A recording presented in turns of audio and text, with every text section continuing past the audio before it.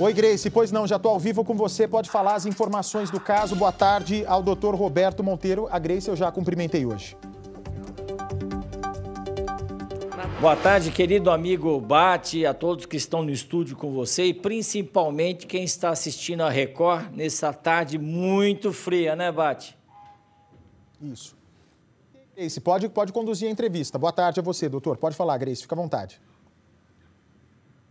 Bate, boa tarde, a gente. Claro, a gente está enfrentando um dos piores dias de frio, uma queda muito grande de temperatura. Hoje nós estamos aqui na sala do Dr. Roberto, aqui estamos é, quentinhos, amparados, mas infelizmente quem está vivendo na rua, dormindo na rua, principalmente nessa madrugada, enfrentou muita dificuldade aí para conseguir até mesmo sobreviver. Infelizmente, houve uma morte de um morador de rua que o doutor Roberto traz algumas informações para a gente. Claro, está sendo investigado. É, em que situação que, que ele morreu, porque como não houve tempo também de ampará-lo, de ajudá-lo. Claro, muita gente estava na rua nessa noite. Houve também um, um respaldo, tanto do governo, do município aí para tentar ajudar esses moradores com abrigos e, e também distribuição de sopa, de, de blusa. Muita gente, eu vi muita gente se comovendo na rede social também, né, doutor Roberto,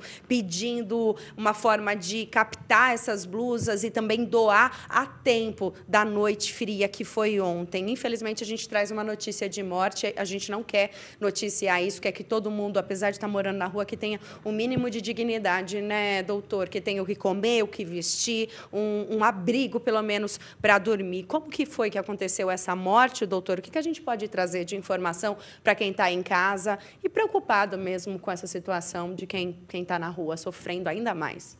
Claro, eh, Grace. Eh, realmente houve esse fato no oitavo distrito policial aqui é, da Seccional Centro, que foi avisado que numa entidade religiosa, é, uma pessoa havia entrado nessa entidade, depois passou mal e ali, inclusive, foi ao chão e ali ficou. Então, essa entidade religiosa chamou é, uma enfermeira que fica num posto de saúde da Prefeitura de São Paulo, a poucos metros. Essa enfermeira foi lá, constatou que ele já não tinha os sinais vitais e foi acionado o SAMU. Uh, os paramédicos do SAMU chegaram no local, até perguntaram por que, que a enfermeira não, não, havia feito a massagem cardíaca nesse senhor de 66 anos de idade. Ela disse que já desconfiava que já havia ocorrido a morte, mas, uh, segundo a SAMU, talvez a massagem cardíaca seria uh, necessária e oportuna.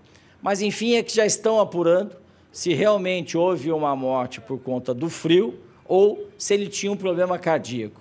De toda sorte, Bate, a Prefeitura de São Paulo tem um trabalho muito forte nas noites paulistanas, ainda mais noites como esta, de muito frio, para abrigar as pessoas que estão ao relento. O que ocorre, Gleice, é que muita gente não aceita ir para abrigos.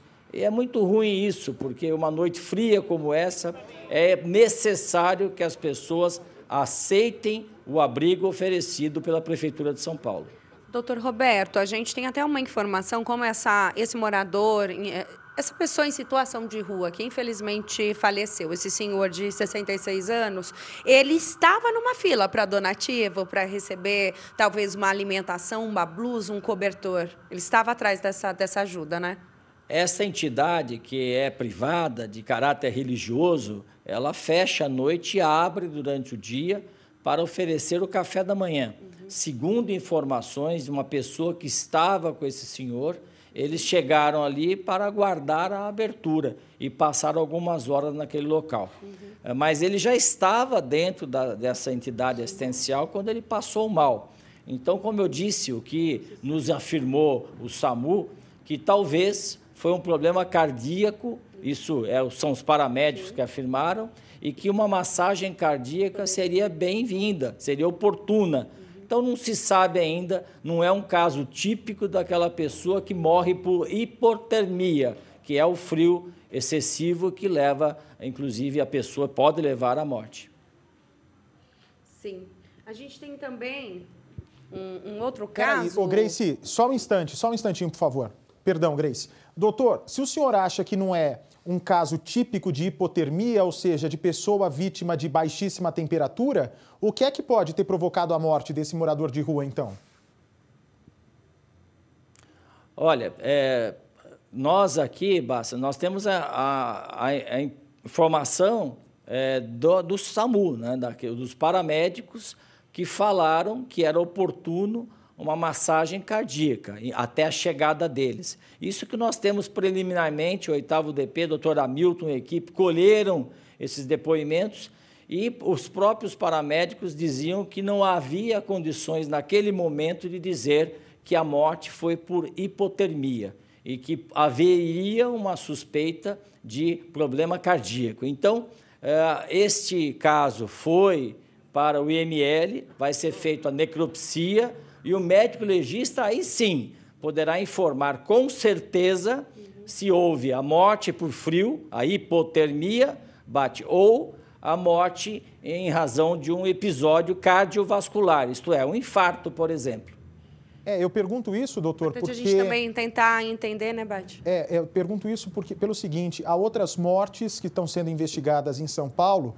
Em Mogi das Cruzes, anteontem, teve também a morte de um outro morador de rua. A gente se preocupa, doutor, porque há vários episódios aí de suspeitas de envenenamento.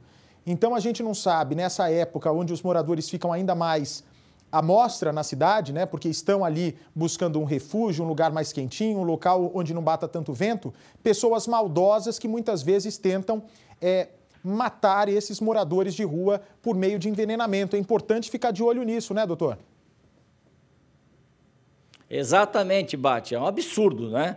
Eu ouvi, sim, na, na, na imprensa essas notícias. É, são psicopatas que podem fazer isso, claro, né? Porque, primeiro, praticam homicídio homicídio qualificado pela torpeza da ação, envenenar uma pessoa em situação de rua. É um absurdo e é um caso que mereceria pena de morte se houvesse aqui no Brasil. Mas eh, nós estamos apurando, esse caso aconteceu agora, na parte da manhã, bem cedinho. Nós estamos apurando na Polícia Civil, no oitavo DP, como eu falei aqui da Seccional Centro, e o IML vai ser muito importante, porque daí nós temos o laudo técnico, o que causou a morte desse senhor de 66 anos. Foi a hipertermia ou um acidente vascular, um acidente cardíaco.